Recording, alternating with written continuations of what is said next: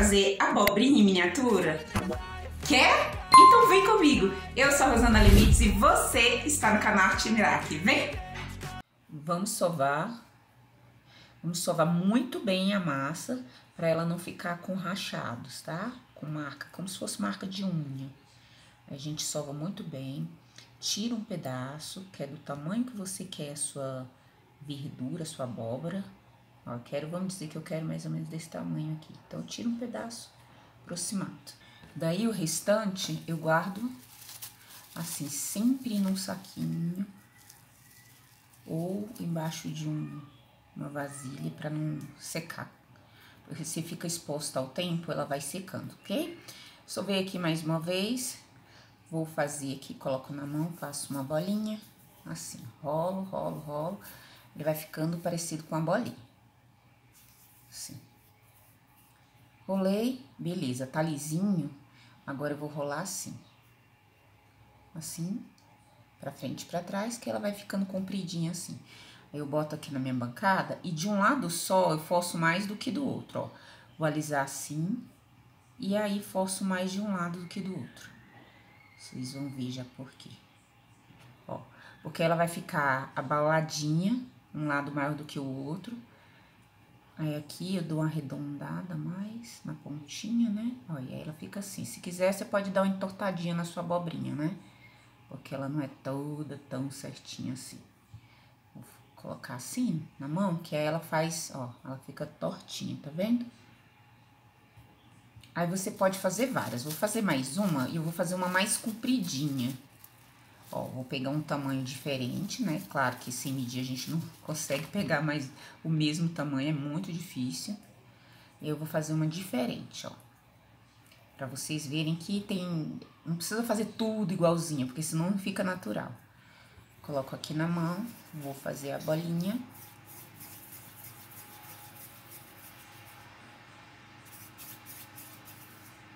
Rolo pra frente e pra trás, ver se tem marquinha. Se tiver marquinha, rola mais. Pronto. Aí eu rolo pra frente e pra trás, assim. Aí eu posso fazer uma mais magrelinha, vamos dizer assim. Mais magrinha, uma abobrinha mais magrinha. Eu faço aqui nas pontas pra não ficar quadrado, porque fica um pouco quadrada, né? Tem hora. Aqui a marca do, do apoio aqui. Então, faço assim pra ficar bem redondinho nas pontas. E você pode deixar compridinho ou posso, pode entortar um pouquinho assim. Ó, essa é mais compridinha. Depois eu vou fazer uma menor ainda. Quero fazer uma menor.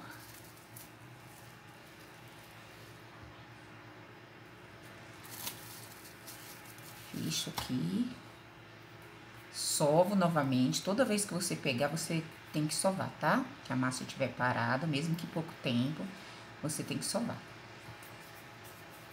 Que vai evitar marca. vou te mostrar o que, o que são as marcas agora. Ó, essa aqui nem ficou marcada, mas eu vou fazer isso aqui, ó. Pra você ver o que, que é marca. Ó, quando você tá fazendo o seu biscuit, isso aqui é marca. Tá vendo? Se ficar marcado assim, você, quando ela secar, ela vai ficar mais evidente essa marca. Então, o segredo é sovar, tá bom? Sova para evitar essa marca. E aí você faz o que você tem que fazer. Aqui no caso é uma bolinha.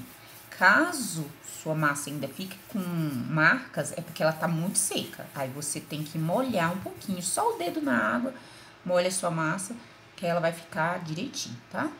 Aqui, ó. Uma abobrinha pequena. Aqui, que bonitinho, como fica pequenininha, menor, a, melhor, a menorzinha. Filhote.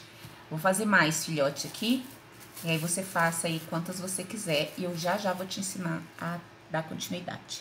Bom, fiz aqui algumas abobrinhas. E aí, agora eu vou deixar secar um pouquinho e a gente vai pintar, tá bom? Eu vou, vou escolher só uma aqui, vou guardar essas outras. Gente, eu guardo em cima de uma espuminha, dessas espuminhas mesmo de lavar louça, você tira uma espuminha só para isso, ou compra um pedaço de espuma, porque a espuma não deixa amassar quando você vai colocar seu, o seu produto para secar, tá? Bom, eu vou preparar uma tinta aqui, eu peguei verde bandeira com verde musgo. Vou misturar um pouquinho das duas, porque eu acho que a pintura da abóbora não é nem verde bandeira nem é verde musgo. É um pouquinho das duas misturas. Então, vou fazer uma misturinha aqui. Ó, essa tinta é tinta à base d'água. Eu usei aqui a de tecido, mas você pode usar qualquer tinta à base d'água. Pode ser até a aquela guache, que é bem baratinha essa escolar, sabe? Bom, aí eu vou misturar aqui um pouquinho, ó. Eu coloquei uma gotinha de cada. E aí vou fazer um tom diferente de verde. E esse tom pra mim ficou melhor. Tá bom?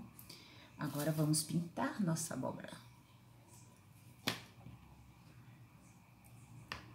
Pegar tem que pegar um pincel fino. Aqui, ó. Quando o pincel não tá muito fino, eu, eu corto um pouquinho das cerdas dele pra ficar do jeito que eu quero. E aí, a gente vai pintar aqui, ó. Aqui em cima, vai puxar uns... Umas coisas assim, ó. Como se fosse melancia partida. Ó, um você puxa mais comprido, outro menos comprido. Vendo? Puxei de cima para baixo, em volta dela todinha. Você não precisa molhar o pincel toda hora. Agora aqui no meio, eu vou fazer como se fossem uns passeados de formiga, como se fossem aqueles caminhos passeados de formiga. Pode tirar o excesso ó, de tinta e fazer isso. Eu não sei se dá para visualizar bem, mas é como se fossem uns passeadinhos de formiga. Como se eu estivesse fazendo caminhos. Olha aí. Aí onde eu puxei, eu vou puxar um pouco mais. Só em alguns lugares.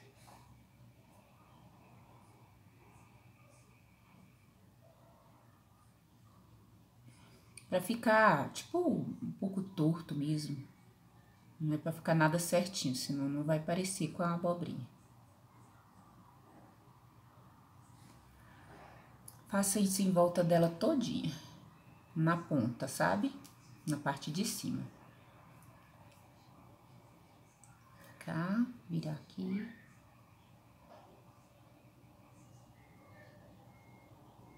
Não esqueça que não bota muita tinta. Se tiver muita tinta no seu pincel, você limpa aqui mesmo na sua mão, assim. Tira o excesso assim, tá? Pronto. Agora eu vou fazer uns rajados aqui. Rajados como? Ah, vou fazendo isso aqui, ó. Assim, eu vou fazer grande aqui na mão pra vocês verem, ó. Vou fazendo assim, ó. Assim, assim, assim, assim, assim. Só assim. Porque vai ficar um traço, não vai ficar um traço tão reto, entendeu? Só vai ficar umas manchas assim, tá? Pode tirar o excesso, se tiver difícil.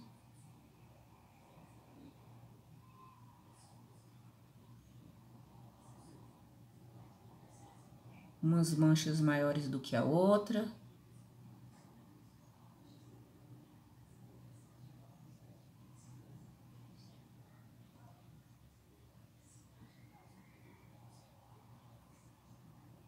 Deixa secar de um lado e faça do outro. Ah, e no fundo a gente só vai puxar assim, ó. Um pouquinho. É pra ficar toda manchadinha e irregular, esses desenhos irregulares mesmo. Vamos deixar secar. Olha só, eu tô pintando aqui e aí eu tenho outra dica para vocês. Eu coloquei uma, go uma gotinha não, um pouquinho de preto aqui no cantinho e misturei também para dar um tom um pouquinho mais escuro. Aí eu vou mesclando com o tom escuro e o tom um pouquinho mais claro, tá? É bem uma gotinha mesmo. E aí, para ficar mais fácil de pegar nessa abobrinha, para você não precisar fazer de um lado pro outro, como eu tava fazendo com essa maior aqui, faz um lado, espera secar e faz o outro, é melhor a gente fazer assim. E você fura a abobrinha de um dos dois lados com agulha mesmo, que aí vai facilitar você pintar. Que aí assim você pode pintar de todos os lados.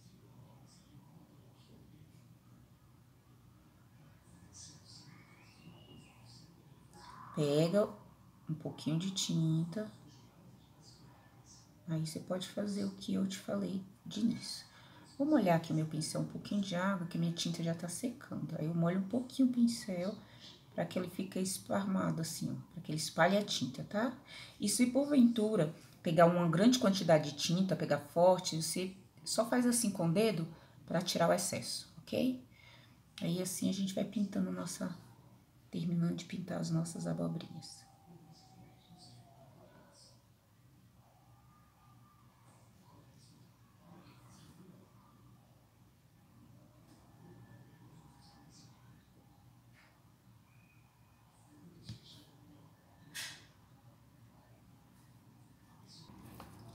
Bom, vamos dar continuidade aqui. Já pintei minha abobrinha.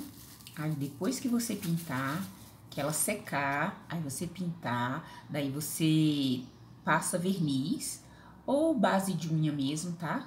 Verniz, pode ser verniz fosco, que eu acho que a abobrinha não é muito, não é muito brilhosa. Você passa verniz fosco, deixa secar. O verniz você vai passar depois que a sua abobrinha secar toda, tá?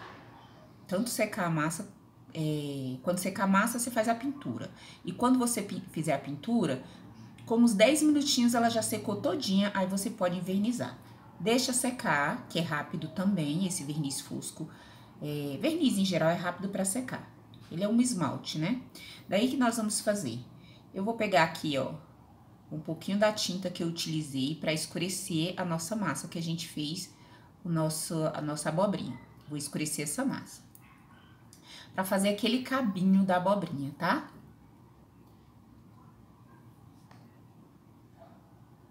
Faz uma melequinha boa, mas vale a pena. Faz uma melequinha, ó.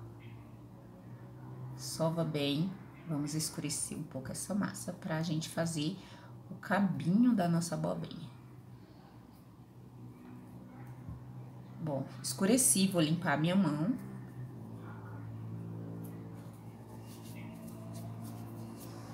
É importante sempre que você mexer com tinta, você limpar a sua mão para não manchar nem a tua bancada e nem manchar a outra parte da sua, no caso aí, da sua peça que você tá fazendo. Aí, eu vou beliscar uma pontinha, ó, belisquei um pequenininho e vou fazer a bolinha. Depois que eu faço a bolinha, coloco na mão assim, faço a bolinha. Rolo de um lado assim só, faço a coxinha, tá vendo? Ó, fiz uma coxinha.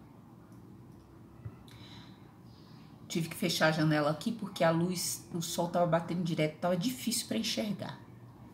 Olha só. Agora eu vou pegar um, uma, uma pontinha de cola e vou colar a parte gordinha da coxinha.